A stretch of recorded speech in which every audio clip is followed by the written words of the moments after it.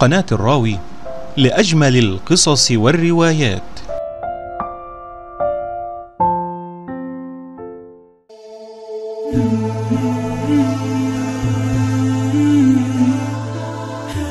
قصة نبي الله شعيب عليه السلام وأصحاب الأيكة وكيف عذبهم الله.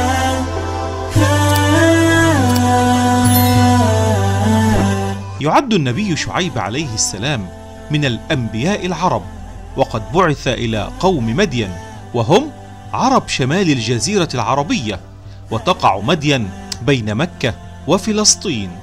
وقد كانت بعثته عليه السلام قبل بعثة موسى عليه السلام حيث ورد ذكر شعيب عليه السلام في القرآن الكريم أنه قد أرسل بعد هود وصالح ولوط عليهم السلام. وتجدر الإشارة إلى أنه قد ورد ذكر قوم مدين في القرآن الكريم بلفظ أصحاب الأيكة. وقد لقب نبي الله شعيب عليه السلام بخطيب الأنبياء ويعود سبب ذلك لاتصافه بالفصاحة والبلاغة وهو ما كان يظهر في دعوته لقومه إلى الإيمان والتصديق برسالته ولحسن مراجعتهم فيما كان يدعوهم إليه. وعن قوم النبي شعيب عليه السلام. أشير مسبقا إلى أن نبي الله شعيب عليه السلام بعث إلى قوم مدين وهي مدينة تقع على بحر قلزم وهو البحر الأحمر وتحاذي مدينة تبوك. وقد من الله تعالى على سكان مدين بنعمه الكثيرة في شتى مناحي الحياة. فمن حيث العدد جعلهم الله شعبا كثير العدد بعد أن كانوا قلة. حيث قال تعالى أعوذ بالله من الشيطان الرجيم. واذكروا إذ كنتم قليلا فكثركم. ومن حيث القوة فقد كانوا أقوياء يترصدون للناس في الطرقات بعد أن كانوا ضعفاء لا حيلة لهم. ومن حيث الرزق والمعاش فقد كانوا أغنياء يملكون البساتين والمحاصيل ويتصرفون في نتاجها بعد أن كانوا فقراء ومحتاجين. ورغم هذه النعم التي يتنعمون بها لم يؤمنوا بدعوة شعيب عليه السلام وكفروا بالله تعالى. فعبدوا شجرة من الأيك فسموا بأصحاب الأيكة وليس هذا فحسب بل شاع بينهم الفساد في معاملتهم وأخلاقهم. ومن صور ذلك التطفيف في المكيال والميزان فإذا اشتروا أوفوا وإذا باعوا أنقصوا. وأيضا التبخيس في حقوق الناس المادية والمعنوية وما يشمل ذلك من غش وحيل وإنقاص. وأيضا إخافة المرة وترويعهم وقطع السبل عليهم. فدعاهم نبي الله شعيب عليه السلام إلى توحيد الله ونبذ الأصنام والأوثان.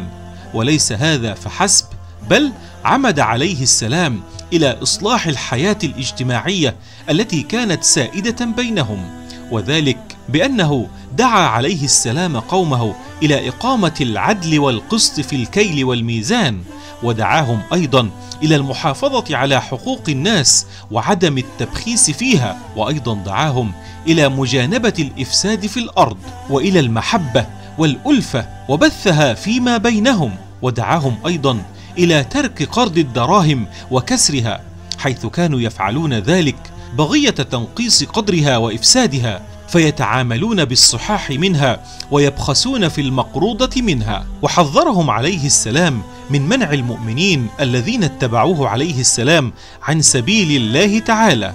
وعمد أيضا إلى تذكير قومه بنعم الله تعالى العديدة عليهم.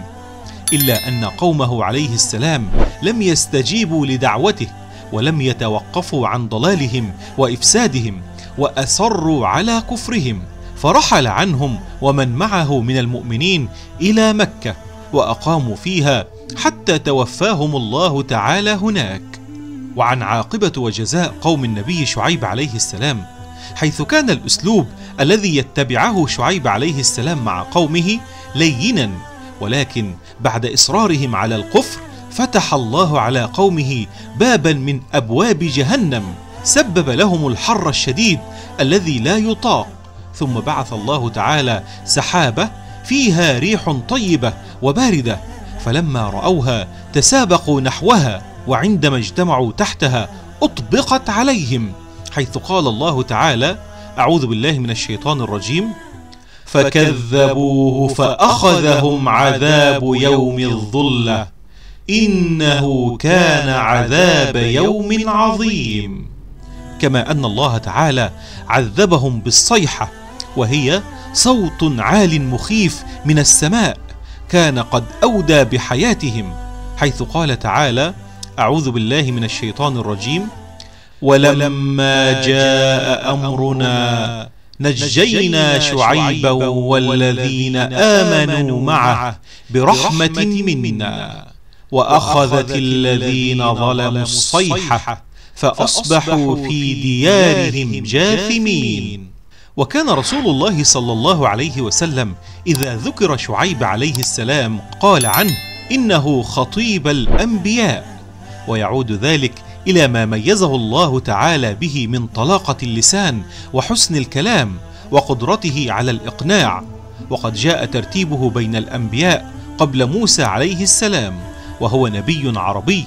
أرسله الله تعالى إلى العرب الذين يقطنون في شمال الجزيرة العربية في حين إن إسماعيل عليه السلام أرسله لأهل الجنوب منها. فآمن مع شعيب عليه السلام أناس من قومه ولما عانده الباقون ورفضوا دعوته أخذ من آمن وتوجه بهم إلى مكة وبقوا هناك إلى أن توفاهم الله ودفنوا فيها. وقد عاش نبي الله شعيب عليه السلام أربعمائة عام. وفي روايات أخرى أنه عاش ستمائة عام وقد كان في الفترة التي تسبق ظهور موسى عليه السلام بقليل وكان مجيئه بعد النبي هود عليه السلام. ويقال إن قبر النبي شعيب عليه السلام يقع في مكة المكرمة غرب الكعبة المشرفة وذلك بين دار الندوة وباب بني سهم وقيل إنه يقع في قرية خيارة الواقعة في طبرية ويقال أيضا أنه يقع في الأردن جنوب السلط وقيل إنه يقع في حطين وهي قرية تقع بين أرسوف وقيسارية أو بين طبرية وعكة وقيل إن حطين بحيرة تقع في أرض مصر بين الفرمة وبلبيس يصاد منها سمك الحطين. وتجدر الإشارة إلى أن الله تعالى كان قد أرسل نبيا آخر بعد شعيب عليه السلام يدعى بشعيب بن ذي مهدم بن حصورة. بعثه إلى قومه بنو حصورة وكانوا يقطنون بين الشام والعراق في منطقة سماوة وقيل اسمه شعيب ابن نهد وقبره في جبل ضين الواقع في اليمن. والله أعلم. ومن السور التي وردت فيها قصة شعيب عليه السلام في القرآن الكريم أولا سورة الأعراف حيث جاءت القصة فيها من خلال تسع آيات ذكرت من خلالها الأمور التي دعا إليها شعيب عليه السلام قومه وردهم على دعوته بالتكذيب وما آمن معه إلا قليل منهم. ثم توجه شعيب ومن آمن معه إلى الله وتوكلوا عليه. ثم ذكرت الآيات عذاب الله تعالى لمن كذب منهم بالرجفة.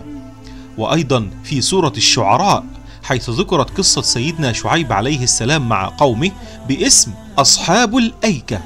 فقد دعاهم إلى توحيد الله تعالى وإيفاء الميزان والمكيال وعدم الاعتداء على الناس وأوضح لهم أنه لا يريد مقابلا عن هذه الدعوة حيث إن أجره عند الله تعالى لكنهم قابلوه بالرفض واتهموه بالسحر وقالوا إنه بشر لا يختلف عنهم ثم طلبوا منه أن يهلكهم بأن يسقط السماء عليهم ثم ذكرت الآيات هلاكهم بعذابهم يوم الظلة. وأيضا في سورة هود حيث ذكرت القصة في اثنتي عشرة آية. دعا شعيب عليه السلام قومه من خلال الآيات إلى توحيد الله والابتعاد عما كانوا يفعلونه لكنهم عارضوه ورفضوا دعوته. وهددوه بالرجم لولا منزلته في عشيرته. فحاول أن يذكرهم بمصير من سبقهم من الأمم الذين عارضوا دعوة الرسل ومع ذلك لم يستجيبوا فأنذرهم بالعذاب ونجى الله شعيبا عليه السلام ومن آمن معه. وأيضا في سورة العنكبوت حيث ذكرت القصة من خلال آيتين عرضت دعوة شعيب عليه السلام إلى قومه وتكذيبهم له. فأنزل الله عليهم العذاب وأهلكهم بالرجفة.